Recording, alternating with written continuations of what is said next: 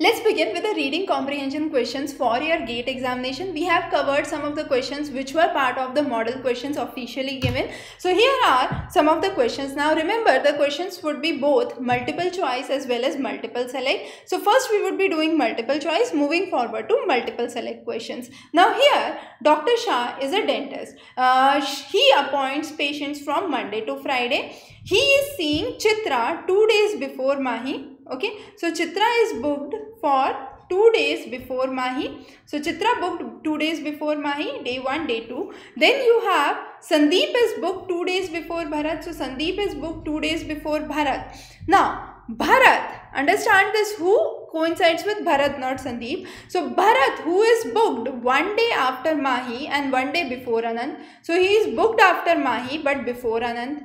Now let me shift this to the above scenario. So i have Chitra, Sandeep, Mahi, Bharat and Ananth as the right option. Then it says the right series. Then it says finally Priya is scheduled for 4 days after Chitra. So Priya is scheduled for 4 days after Chitra. So after Chitra 1, 2, 3 and 4th day I have Priya. And Chitra is scheduled for Monday. So who is double booked and when? So double booked would be Ananth and Priya and they are double booked for which day? They are double booked for Friday. So Ananth and Priya becomes the right option. The next question is further interesting. There is a wooden hatch which has certain number of rabbits. Now the question says there are 4 ear tags and 5 neck bands that are there. Each rabbit can be given either a neck band or a ear tag or both of those. Now what are the condition? Uh, the first case says I have white rabbits. How many white rabbits? Three white rabbits. Okay. And two grey rabbits. And I have the ear bands and I have the neck bands. Okay. Now for these three white rabbits, I give one a ear tag and remaining two the neck tags. Now for the two grey uh, rabbits it's given that both the gray rabbits so there are two gray rabbits have neck bands. So they have neck bands but along with neck band it is not given whether they can have anything else or not. So that means they can have and we can write two ear tags for these two gray rabbits. But for white rabbits it's clearly written they would have either a ear tag or a neck band. So for one rabbit i give a ear tag. For the remaining two i give the neck bands. Okay now, for the neck, four of them gone and for the ear, three of them gone. So, one neck and one uh, uh, ear remain. So, one neck and one ear remain and this can be allotted to one another rabbit. So, what can be the minimum number of rabbits? So, minimum number of rabbits are here 3 plus 2 plus 1 that counts it to 6. So, the minimum number of rabbits can be 6 okay? The next question is further a simple question. Now understand this is not a question from syllogism problem as we have been doing. Uh, this is a question of Euler diagram. You can refer the class of Euler diagram that we have covered separately. Now here the question says some packs are sack. So I have I draw the circles of pack and sack. Okay? I have pack and sack. Some pack are sack. I draw an intersection. Some zack are cack Okay, so zack are cack. I draw another circle. All knacks are packs. Now when I say all knacks are packs, I can have all knacks here or I can have a knack in this proportion as well or I can have a knack in this proportion.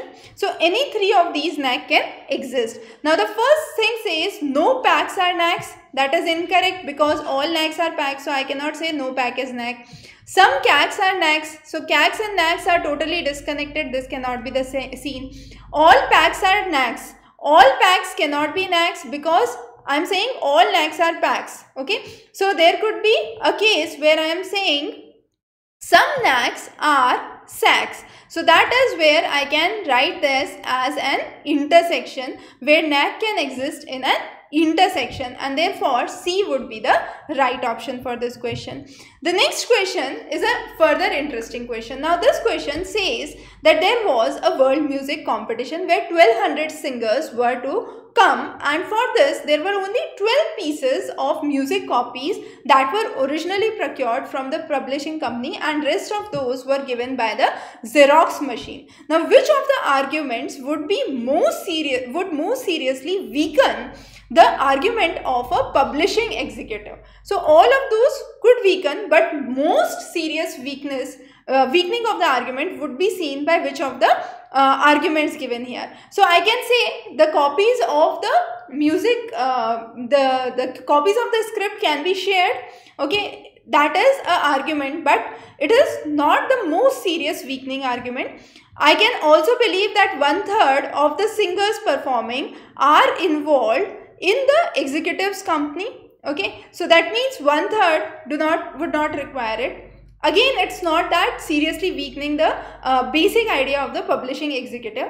Then I can say half of them already know it. But when I say there is shortage of the uh, funding because of which the festival required the or uh, the singers to purchase their own copies, this would seriously weaken the main argument of the publishing executive and it would affect the publishing saying that the Xerox machine publishing would devastate the major publishing executive or the publishing organization. So Xerox would significantly hamper the publishing house would be best true with the case D that we have discussed. A very very important uh, aspect that we have taken into account here.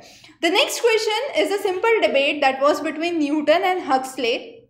Now this talked about pure research. Both of them said that technologies are there. Technologies tend to save the lives okay but newton believed that the role is mainly to expand the knowledge and the unexplored areas huxley believed that it is mainly used for the purpose of medicine and only for that for the purpose of saving lives so the question says on which of these uh, criterias would the two researchers disagree so pure research should have the goal of saving the lives. As we said, this is the goal which both of them said that is important. Okay. So this is not a disagreement. Again, the pure research derives its significance as a part of providing new technologies has been taken into account by both. But Huxley said that your priorities are mistaken.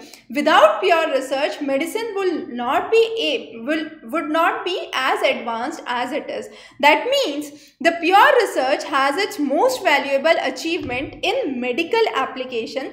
This is the major point of disagreement between the debate of Newton and Huxley. Huxley said that yes, it is most valuable for medical application. However, Newton believed that it is most important for exploring new ideas and uh, unexplored knowledge.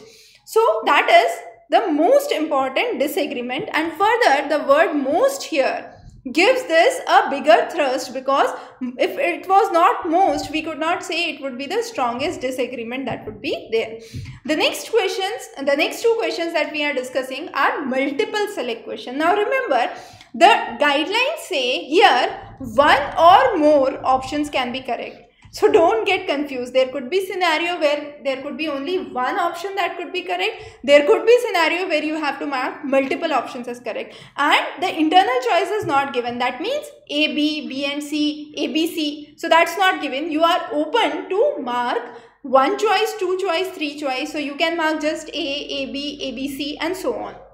The first question here talks about prosop prosopagnosia prosopagnosia is a face blindness. That means even if your parents come in front of you a major celebrity a historian a major uh, scientist but uh, of your region or of your neighborhood you won't recognize it. And that is face blindness. So it's a failure of sensory perception.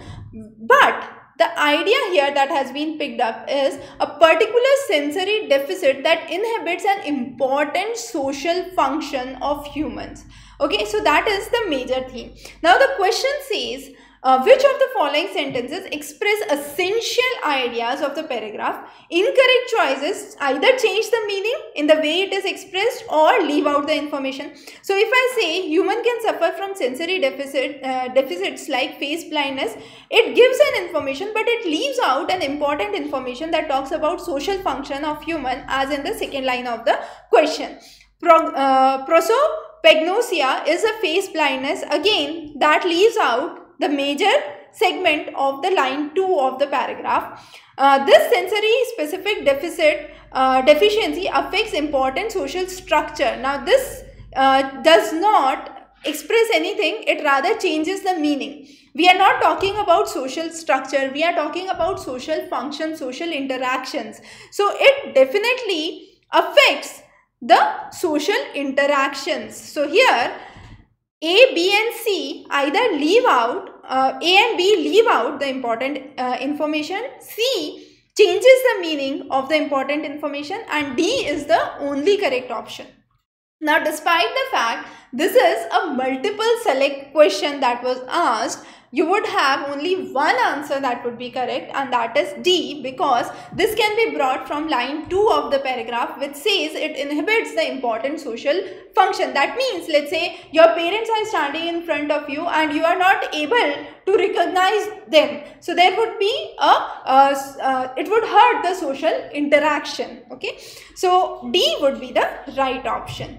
The next question is about meritocracy. Now meritocracy means we are working on merit basis. So based on the social stratification, based on the merit, a person would be given a higher rank. But the next line immediately says the concept of meritocracy is ideal but never such never ever such society has existed because the societies are actually complex. There is socialization there is economic systems there are multiple factors affecting it. There could be inheritance there could be pressure to conform to social norms which could affect the ranking the merit. And therefore the passage suggests that meritocracy is a system where one social standing is dependent on merit that is purely correct. But at the same time, it says that it is unrealistic idea where so many social complexities do exist. So B and C, both of these are correct. However, uh, the sentence, the last paragraph clearly says, sociologists see the aspect of meritocracies in modern societies where they study role of academic performance and job performance and the system in place for evaluating and rewarding achievements in these areas. So these are not just the sole determinants, these are some of the areas that have been taken by modern societies. So A and D does not make it a, a, a correct suggestion for meritocracy based on the passage that is given. So you would have B and C as the multiple select and the correct answers because B says what is exactly meritocracy. It focuses on social standing based on merit but at the same time it says that it is not idealistic. There are complexities in the society that exist and because of which you would have an unrealistic ideal that we are talking about. So B and C would be the right option. Now these were some of the kind of reading comprehension questions that are given in the model paper for your gate. So definitely there would be 15 questions that you have to attempt. We have discussed this in our class in detail where we have talked about social uh, the gate paper for social sciences and humanities, the structure of it, the section on aptitude, the section on reading comprehension and then your subject from C1 to C6. So we would be covering many more interesting lectures in GATE. Stay tuned and you can follow the links below for more model papers and updates. Have a wonderful day ahead.